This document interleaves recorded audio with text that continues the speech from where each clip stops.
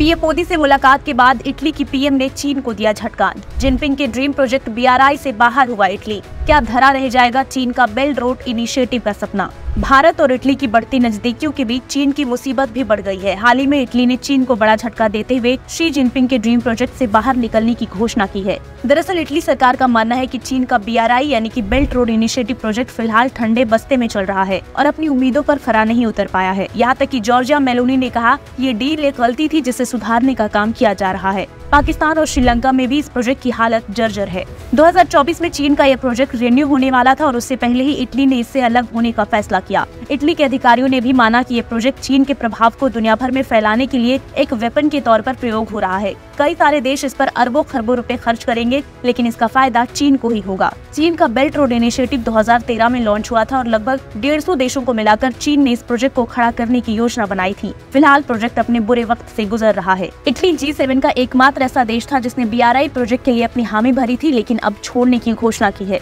एक तरफ़ BRI project को बड़ा झटका लगा है तो दूसरी ओर चीन में इकोनॉमिक क्राइसिस चल रही है बेरोजगारी दर आसमान छू रहा है। फंड की कमी के कारण बीआरआई प्रोजेक्ट पिछले कुछ सालों से अटका है। चीन, इटली के बदलते रिश्तों के बीच भारत का नाम लिया जा रहा है। एक्सपर्ट्स का मानना है कि इटली के इस प्रोजेक्ट के छोड़ने के पीछे भारत ने अहम भूमिका निभाई है। कुछ समय से भारत के साथ इटली का ट्रेड और अन्य पार्टनरशिप बढ़ा है। इटली भारत के लिए चीन जैसे देश को झटका देने से जरा भी नहीं झिझका, लेकिन आखिरकार ये मैजिक है क्या? दरअसल ये सब कुछ शुरू हुआ था इस साल सितंबर में हुए जी ट्वेंटी समिट में, जब शी जिनपिंग ने समिट में हिस्सा लेने ऐसी इनकार कर दिया था। इधर भारत सरकार ने यूरोप, मिडिल ईस्ट कॉरिडोर के लिए नेताओं को सहमत कर लिया तब दुनिया के देशों को चीन और भारत के बीच का फ़र्क नज़र आया। एक तरफ़ बेल्ट रोड इनिशिएटिव को देखें तो इसमें चीन के सिवा किसी को फ़ायदा नहीं होगा तो दूसरी ओर मिडिल ईस्ट कॉरिडोर से अरब देश के साथ साथ यूरोप को भी फ़ायदा पहुँच रहा है। भारत की डील वसुधैव कुटुम्बकम यानी कि पूरी दुनिया एक परिवार है, पर आधारित होती है। यानी कि मिडिल ईस्ट कॉरिडोर से अगर भारत को लाभ हो रहा है तो ये दूसरे देशों के लिए भी उतना ही फ़ायदेमंद होगा। और यही बात जी ट्वेंटी देशों को भा गई।